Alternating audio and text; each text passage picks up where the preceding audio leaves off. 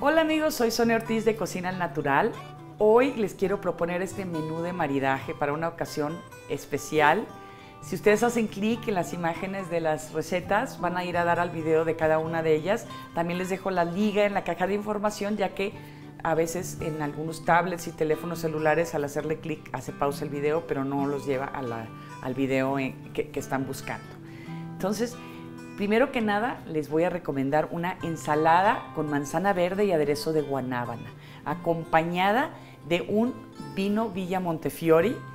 Híjole, delicioso.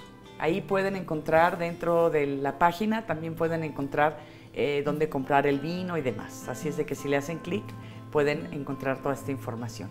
Lo vamos a acompañar con un pollo con piña al torrontés, con un, un San Felipe, un vino San Felipe y de postre un cheesecake de fresa para cerrar con broche de oro.